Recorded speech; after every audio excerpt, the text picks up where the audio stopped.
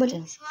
hey guys इस mobile में टाल का बैक लग गया है आइए हम दिखाते हैं यह कैसे छूटता है इसमें क्या होता है डबल डबल बार क्लिक करने पर ये सही होता है तो ये स्पीकर एंड वॉल्यूम को एक साथ तीन या पाँच सेकंड तक चापे रहे ये ऑटोमेटिक छूट